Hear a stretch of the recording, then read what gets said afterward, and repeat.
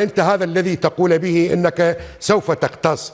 بمعنى ستستخدم الصراع العشائري في الأنبار أنه أنت تروح إلى أخوتك هو ولد عمك وبالتالي تأخذ ما تسميه بحق الأنبار. عن هذا الطريق لو أكو طرق قانونية. لا لا. إذا إذا إذا أريد أخذ حق بهذه الطريقة كان أخذته من زمان. وطب أثر مع احترامه هو ولا غيره؟ هاي هاي هاي هاي فوضى. هذه غابة. لا مو بهالطريقة هذه. بس إحنا نقول تجمع نجمع الشيوخ العشائر وتقعد الناس وتجي كل الناس اللي تضررت. كلنا نحضر. إذا عندهم شيم علي وأنا أول ما طبيت بغداد وطبيت الرماندي قلت لهم بابي مفتوح اللي عنده شيء عليه خليج امانه الله. والله إذا دين برقبتي والله لا أوفيه. أما إذا أحمد وغير أحمد لازم هم يعني نستوفي الدين أبو خالد النجم. هم نستوفي الدين إحنا ما صار بينا قليل. ليش بيوتنا بيوتنا منو منو دمرها يعني بس الدواعش؟ لا. ما كان هناك من يوجه قاعد في غرفة السيطرة واعترفوا عليه القادة الأمنيين على أحمد أبو ريشة. هو اللي قاعد هو ينطي الاحداثيات اثنين خلصنا خلصنا من موضوع الجيش إنه طبوا الدواعش بيوتنا فجروها. وروح شوفها بالرمادي ما ضل منها ولا طابوقة. والحمد لله على العموم إحنا هذا الموضوع حتى أختم لك إياه في في في نصف دقيقة. لا يمكن أن نسحب الشارع إلى تصفيات بيننا وبين أحمد هذا الإنسان أو غيره. أو أي مشكلة تجي الأنبار، الموضوع فقط توضيح عبر الإعلام انه هذا الشخص يجب أن يحاسب. إذا بري الله يبريه، وإذا ثبتنا عليه لا والله حقنا ونريد إحنا. زين. هذا شيء مشروع. مشروع. بس بالقانون ما نتكلم فقط عن العرف أحمد أبو ريشة. اسمع على هذا البشر شنو سوى. راح أنطى مليون ونص لكل واحد على آه، دز على أحد البرلمانيين. من الأنبار ما نجيب اسمه. وقال له روح آه، دولار أو دينار؟ واحد مليون ونص من آه، عمامنا البعلوان. لا لا مليون ونص دينار. عمي وين أكو دولار هناك؟ من ذول الناس. وروحوا اشتكوا على علي الحاتم. زين بالله عليك هو هذا هذا هذا مو استخفاف بالقضاء العراقي. بالله عليك هاي الدولة بصراحه محمد عليكم هو شلون تريد نحترم إحنا اليوم القانون بهذا البلد؟ وهي بهذه الطريقة جاية تمشي الأمور. وواحده من مشكلة الفتن اللي حثت في زيارتي بعد زيارتي هو هذا المدعو أحمد أبو ريشة. زين جنجنونه ليش؟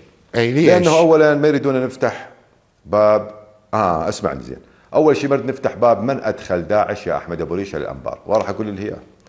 ثانيا المدراء اللي جاي تعينهم بفلوس والوكالات اللي جاي تأخذ منهم أنت آه، نقدر نطرح ملفاتهم على الملأ؟ لو نقعد نتفاهم بيناتهم. وأنا أعرف كل زين يا اخ نجم وكلكم وأنا من خلال قناتكم أقول لكم إياها. والله العظيم يا أحمد أبو ريشة وهذا مع جل احترام العمام للبريشه أي. يا أحمد البزيع كل قطرة دم سالت في الأنبار وكل بيت انهدم والله من جوا لحيتك أنت. زين؟ كل المآسي اللي سويتها والقذارة اللي جبتها للمحافظة راح أشيل هيك اشيلك اياها برقبتك. أما سووا مؤتمرات وأنت شفت سوى راح على البمرعي سوى له فتنة. راح على البعساف سوى له فتنة. وقام يفتر يخبث ويلوث. يا شيخنا العزيز أنت أقول له إثبت إن كانك رجل. أنت الآن على اسمح لي بس اسمح لي. أي. أقول له إثبت إن كانك رجل وشيخ عشيرة وتقول أنا بالأنبار. أطلب من أحمد أبو ريشة يطلع بالرمادي يتمشى وحده ويسلم على العالم. ومن ومني له هدية تخمس سنون زين؟ إذا قدر يطلع هذا يعني أدوات السياسيين يا سيد آه، نجم يا أخوي. أنا إذا أوصل لك الفكرة شنو مو مهاجمتي لأبو ريشة بس أقول لك شلون السياسيين دا يوظفون هيك أشكال في مجتمعنا وشلون تنخلق يا الفتن. شيخ. أنا اللي قصدته من كلامي يا أخوي أخوي العزيز إنه مع الأسف مثل هيك أشكال جاي يتعكز عليها السياسيين. هاكم فلوس وخلقوا البلبله والمشاكل. وانتبه لهذه المعادلة انتبه لها زين أنت والمشاهدين. حطونا في في معادلة يعني مع الأسف أقولها. أنت أما أن تسكت عن الفساد وعن الظلم والدكتاتورية وأما يرجع لك الإرهاب أو هذا الإعمار اللي يدعونه هو مقابله. ترى مقابله إعادة المشاكل والتهجير. هذه المعادلة سخيفة جدا يا سيد نجم. مجتمع مثل الأنبار ما يقاد بهذه الطريقة. انقل فلان وذب فلان سجن وأنا عندي مقطع صوتي راح أدز لك إياه. اسمع أنت أنت احكم. هسه مو أني. أحد المواطنين انتقد نائبة محسوبة على تقدم. 14 يوم يشبع شتل على شنو إحنا وين عايشين؟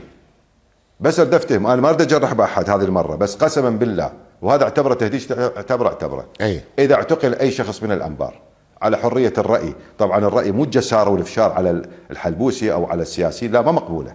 بس أي تعبير عن الرأي إذا يعني آه، آه، واجهوه بمثل هيك أفعال لا بالله راح نخرب الدنيا على رؤوسهم هالمرة هذه.